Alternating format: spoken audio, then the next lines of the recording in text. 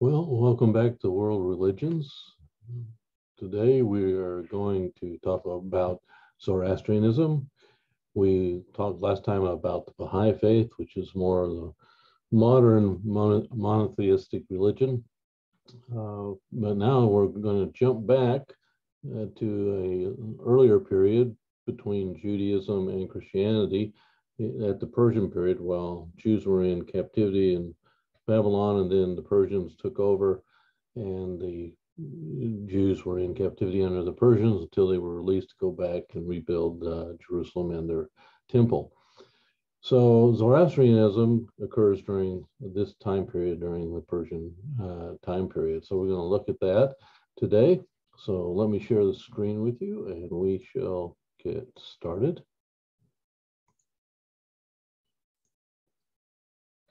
Hmm.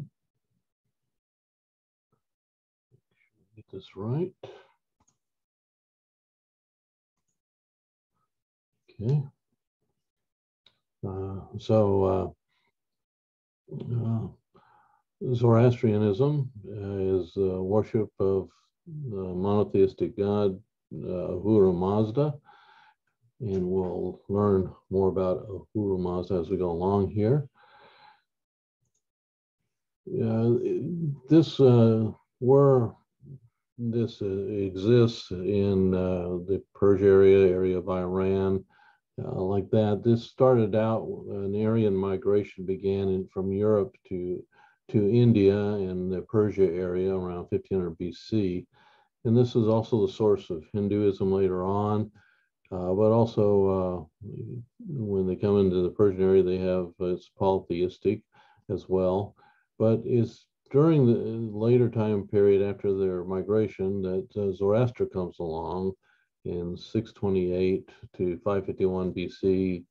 These dates you got to take it with a grain of salt, but uh, uh, that is uh, a fairly scholarly guess. And uh, it, a lot of it takes place during the Achaemenid uh, period, or we call it the Persian period, uh, 558 to 330 BC.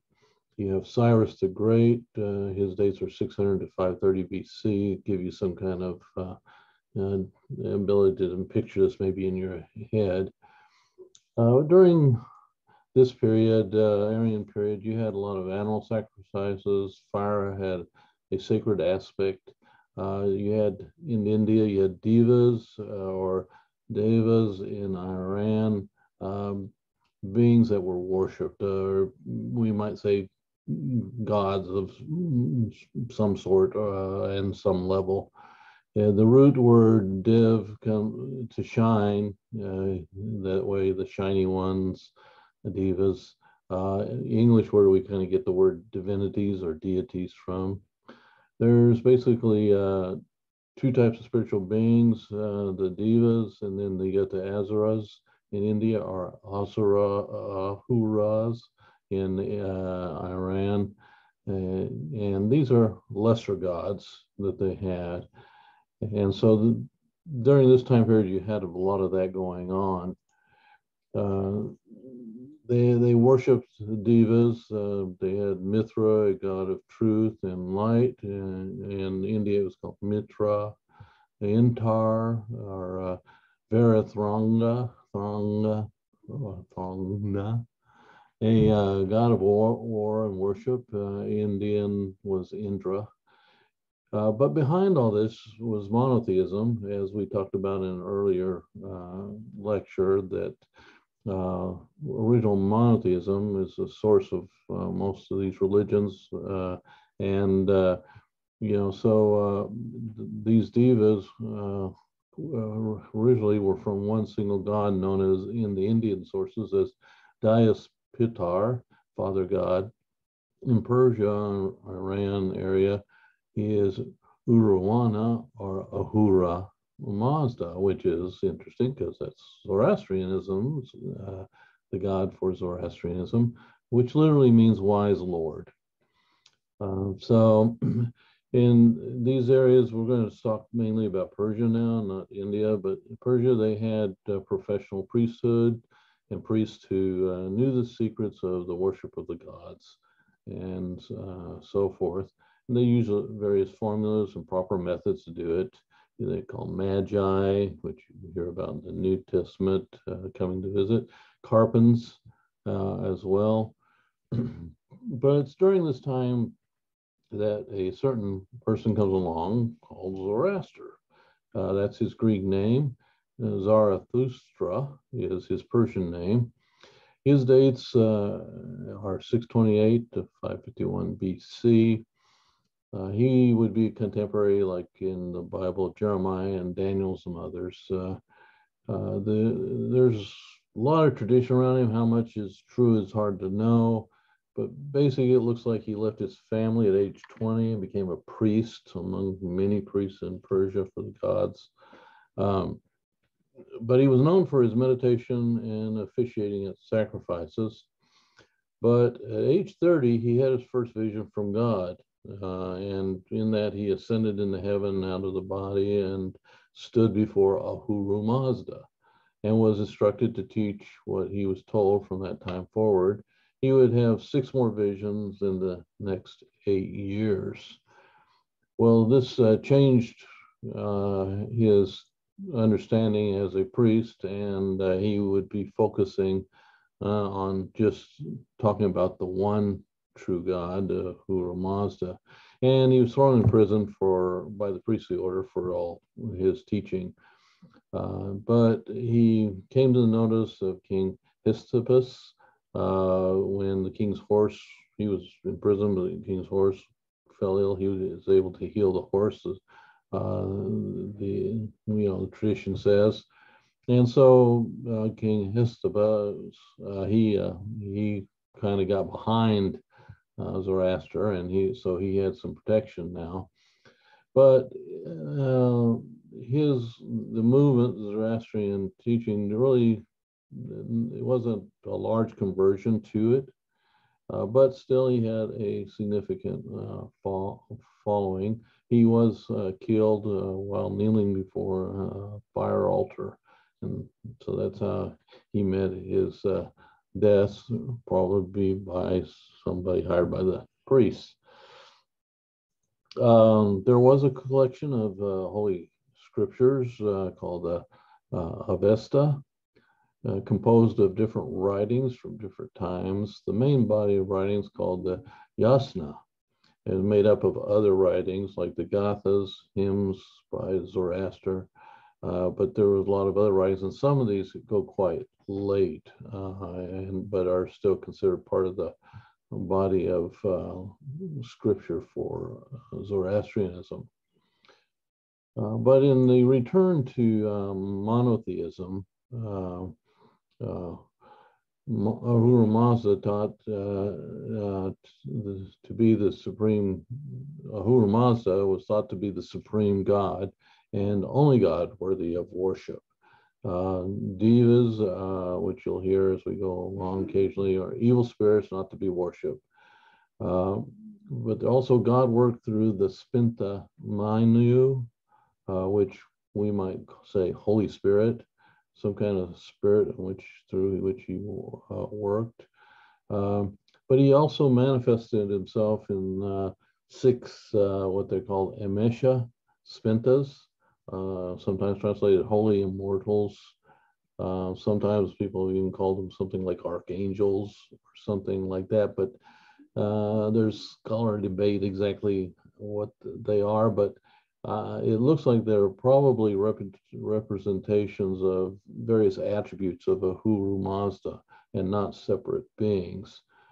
And at least one scholar puts attributes these the, the six Amesha Spentas as attributes of Ahura Mazda, uh, who is the wise Lord, and he says, it must never be forgotten that all these six are not different beings, nor even the creations of, of the Supreme.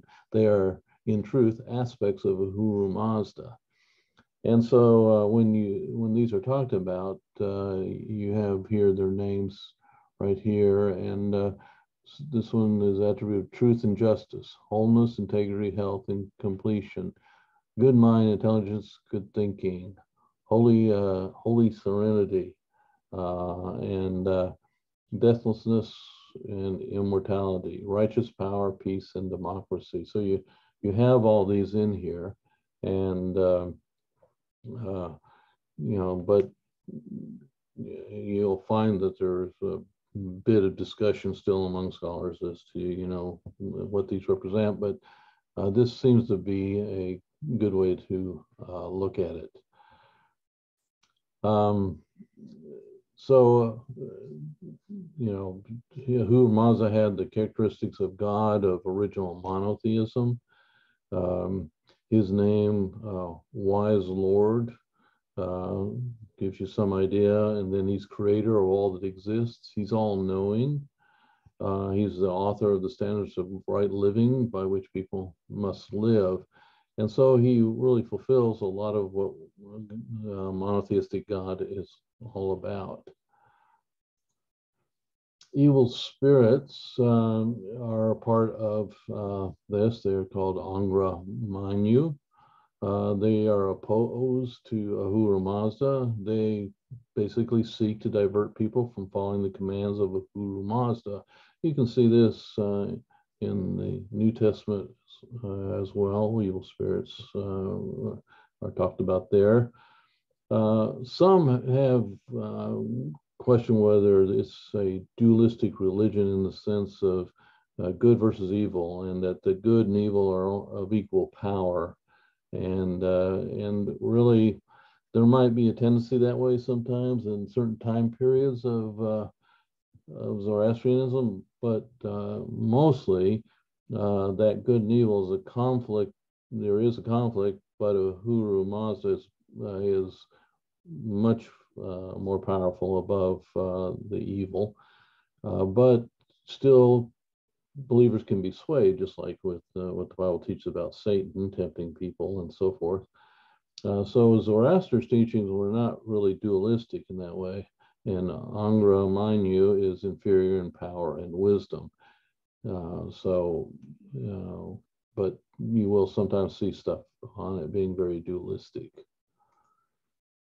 Um, so uh, Angra Mainyu is is really derived from God, just like Satan. It seems like in the Bible that Satan was an angel, probably, that was created by God who rebelled, but uh, we don't have any of that kind of information on, remind you.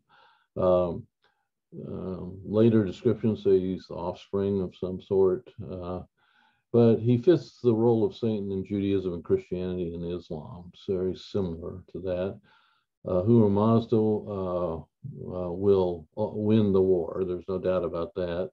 But the outcome for a particular person may be in doubt depending on their choice, whether they follow Ahura Mazda, can they follow the truth, in other words, Asha, or will they follow the lie, Druj? Uh, and uh, so in the end, uh, Mazda will win, but humans can still choose not to follow him. Uh, but the truth if they follow truth, it leads to reward here on earth and in heaven. Uh, those who support the lie uh, receive punishment. Uh, Zoroaster's teaching uh, was uh, opposed to uh, certain things that had been in use in rituals in the priestly order. there was a drink used by priests for mystical experiences and even thought to confer immortality and later even got deified. But um, uh, that was uh, uh, Homa, and uh, you know, but uh, that one's going to be taken out. Zoroaster didn't uh, thought that was not appropriate. they he did keep the centrality of fire as representing truth and purity and worshiping God alone and there's what's called the fire ritual as part of their act of worship, which takes place in the fire temples, which we'll talk about uh, later.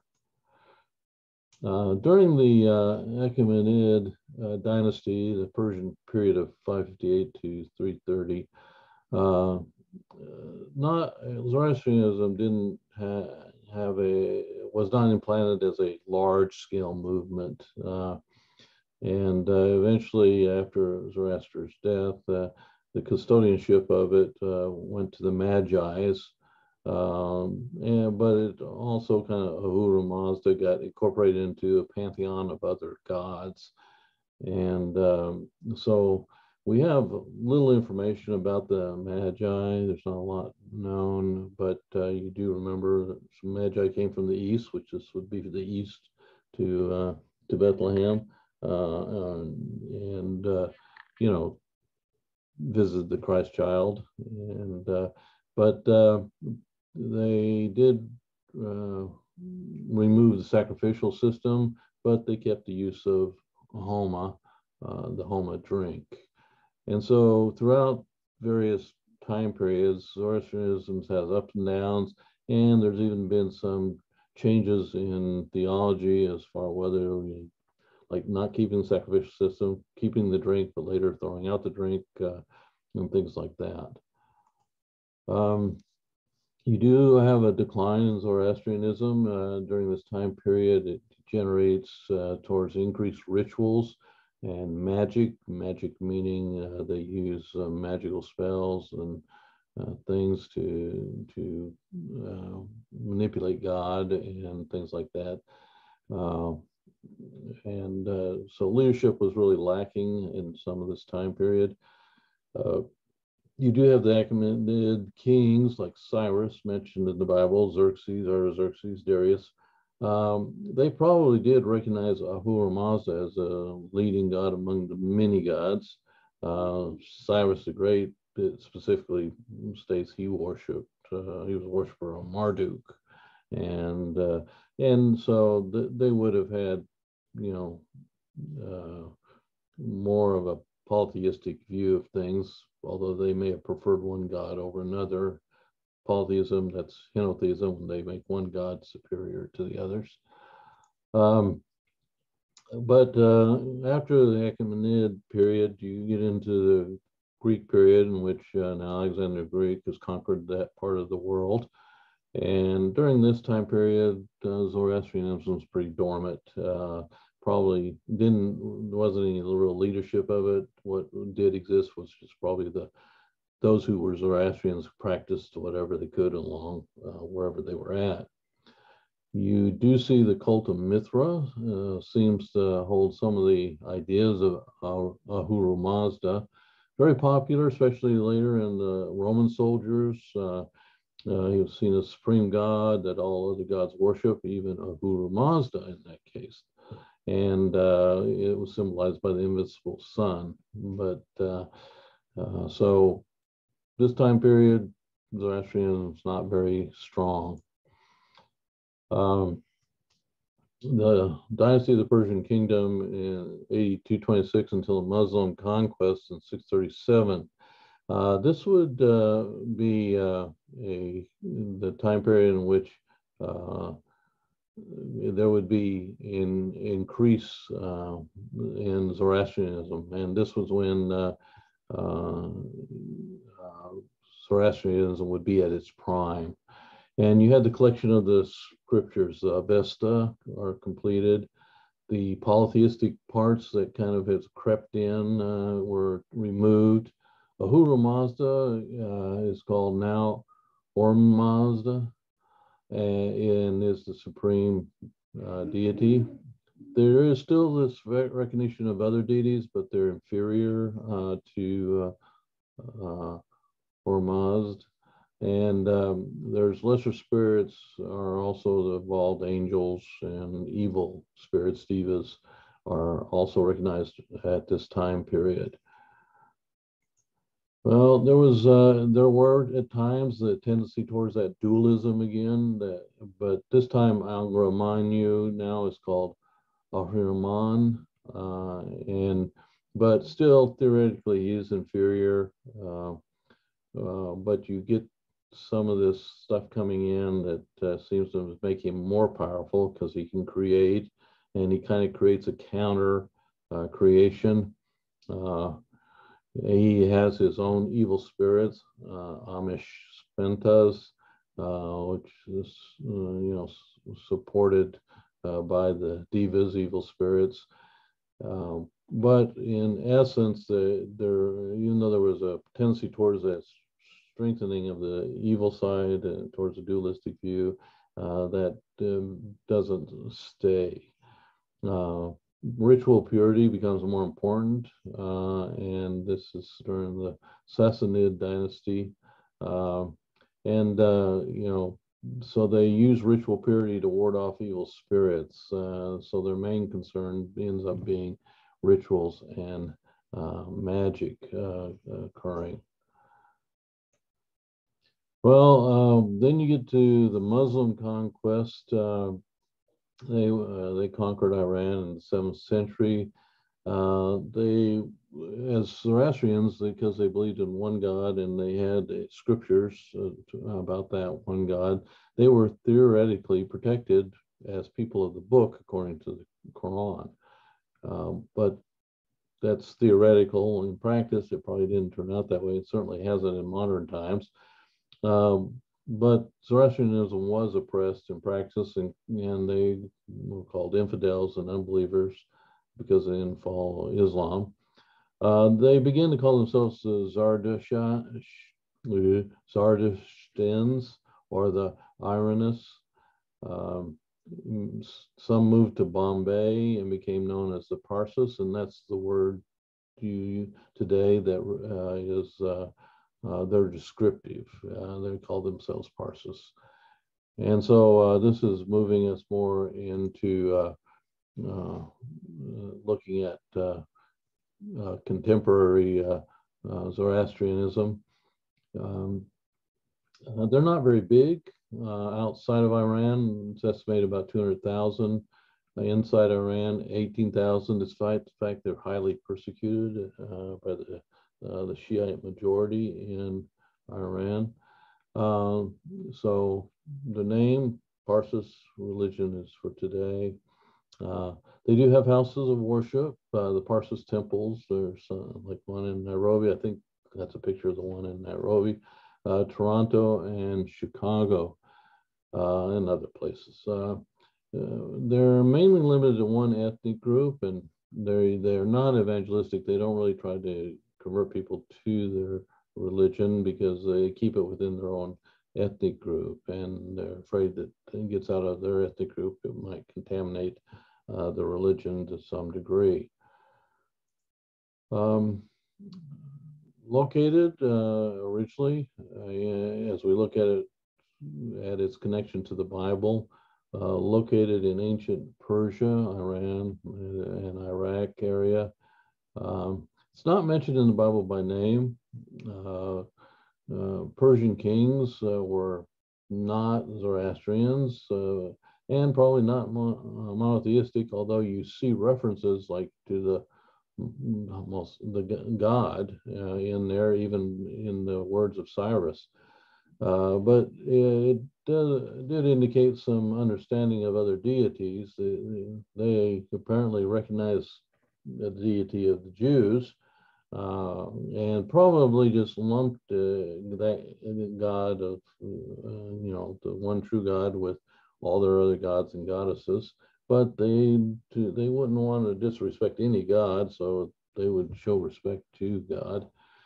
Uh, and so um, you got uh, things being mentioned by Cyrus and Artaxerxes and uh, Darius, you know, and I just took a sample here. Let's see, uh, uh, Ezra here, uh, and Second Chronicles. Um, you got uh, Second Chronicles. Now, in the first year of Cyrus, king of Persia, the, the word of the Lord spoken by the mouth of Jeremiah might be accomplished. The Lord stirred up the spirit of Cyrus, king of Persia, that he made a proclamation throughout all the kingdom and put it in also into writing, saying, Thus saith Cyrus, king of Persia, all the kings of the earth hath the Lord God, notice that, Lord God of heaven given me.